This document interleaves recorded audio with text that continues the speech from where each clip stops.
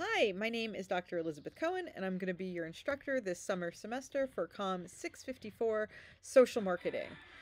That is my rooster, aka research assistant. Um, the noise that you are hearing that sounds kind of inappropriate is actually just my pug. That's just what they sound like when they're breathing. That's Spike. There's another.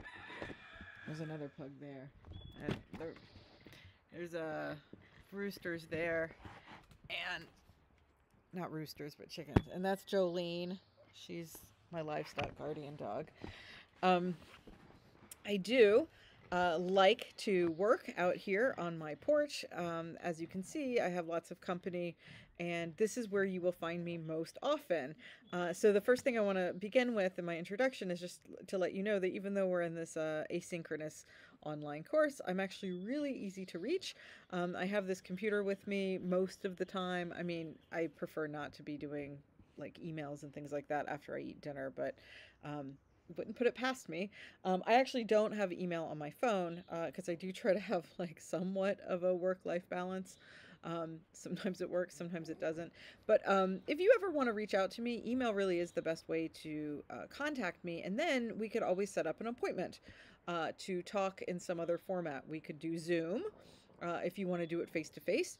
Personally, I prefer telephone. I really um, think there's a lost art of communicating on the phone since the pandemic happened. I don't know why we always have to, you know, put on eyeliner and go see each other's faces.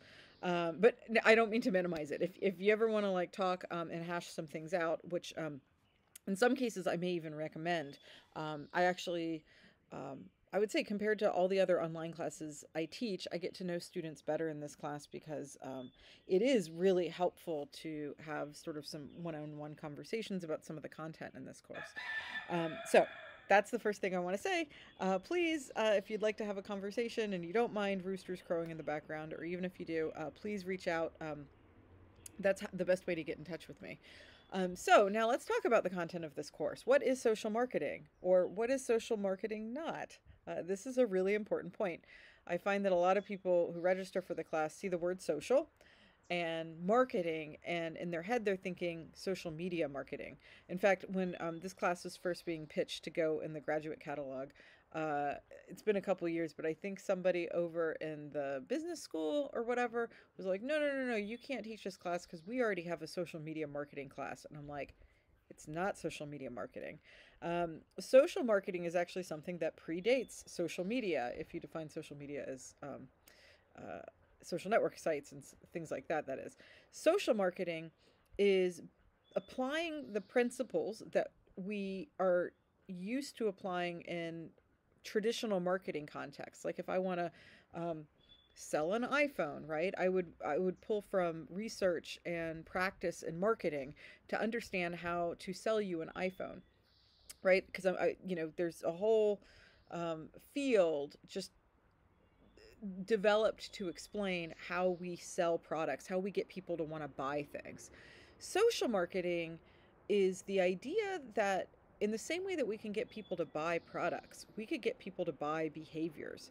Maybe instead of persuading people to, you know, pick up that stick of gum at the grocery store or um, purchase that car or whatever it is we could take the same principles that understand that help us understand how to do that and apply it to um, persuade people to uh, change their attitudes and behaviors in a way that will improve their um, health or improve the environment um, it's it's about nonprofit causes typically, and I'll get back to that perhaps in a second. If not, you'll hear me rant about it in another video.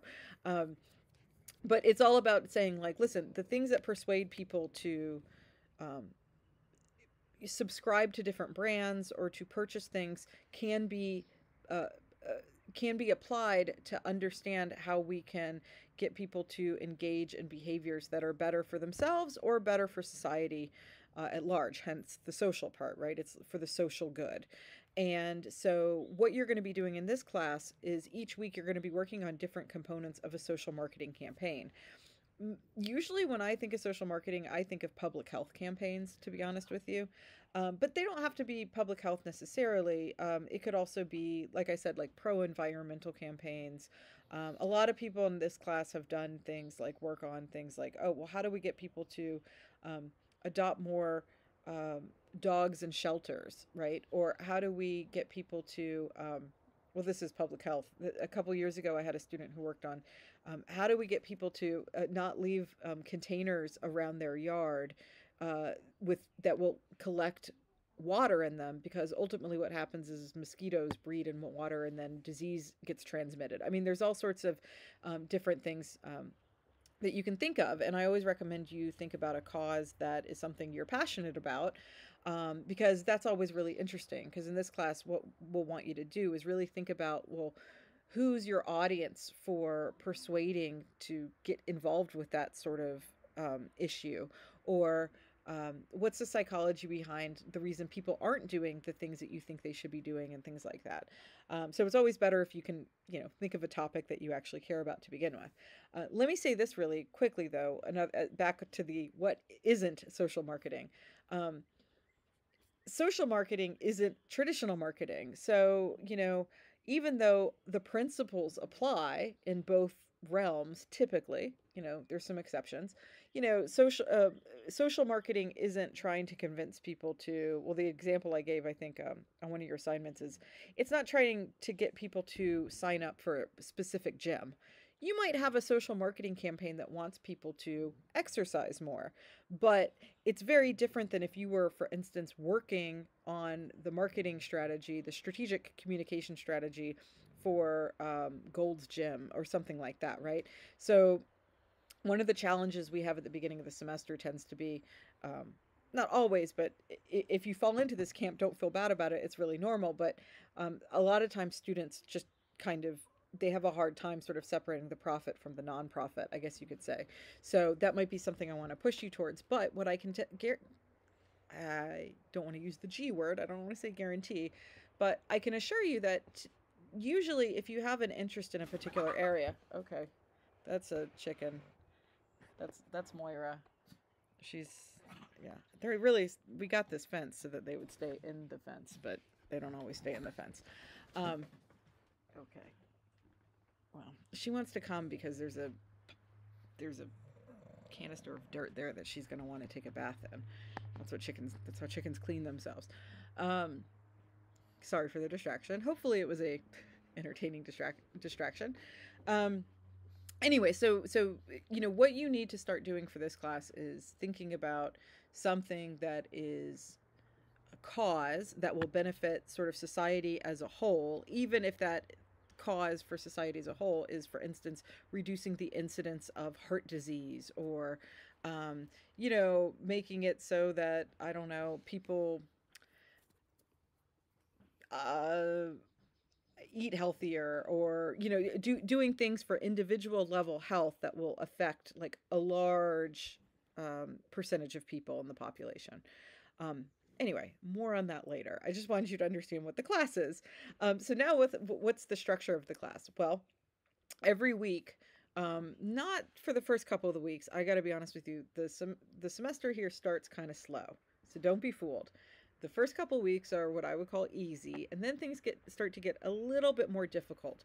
Um, so the first couple weeks you have some quizzes, you're just sort of getting oriented to what social marketing is, and then we start doing weekly worksheets. And these worksheets are literally Word documents that ask you to um, go through a bunch of decisions in order to put together a campaign. And it's really important that you go through these decisions um, in the right order. And it's going to be hard because you're going to be tempted to say, well, I'm going to want to do a campaign on getting people to exercise. And the way I want them to do this is by, um, I don't know, like walking however many steps a day or whatever. But then you're kind of putting the cart before the horse. First, what you're going to need to do is pick an audience, and then you can decide how you want to appeal to that audience in order to exercise. You don't need to know that right now. This is all just a very long winded way of me saying, I really, um, you know, I'm going to encourage you to just trust the process and go step by step. don't answer questions if you can avoid them before you an- like don't answer future questions before you answer the question in front of you the way this class is set up is so that every um, every week you're taking one of those steps so that you can go to the next step so every week you'll start turning in a worksheet and basically you're going to write your answers on this word document and up upload it to turn it in. it's not because i'm looking for plagiarism it's just an easy way to to uh, receive the articles and then i'm going to give you feedback and you're going to need to read that feedback before you can go on to the next step so for better or worse this class and it is i will say this this makes it challenging for me and for you but it's really also i think um, one of the reasons this class is kind of beneficial.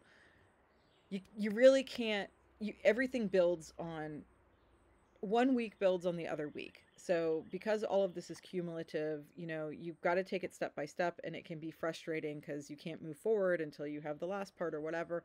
But what I really love about it is that at the end, you can kind of look back and see the logic to everything and you can, you know, sort of take pride in how you've build build one layer on top of another layer and things like that. So anyway, so yeah, that's it. So basically every week you do some reading or watch, and I do have videos that are just like this for better or worse. Some of them are dated. Um, some of them literally are like ones that I did four years ago for this class. Some of them I've updated because I didn't like them and they didn't explain things well. But once I had a video where I'm like, okay, this explains exactly what I want it to explain, I just kept it like that. So you're gonna see my my hairstyles change, my weight fluctuate.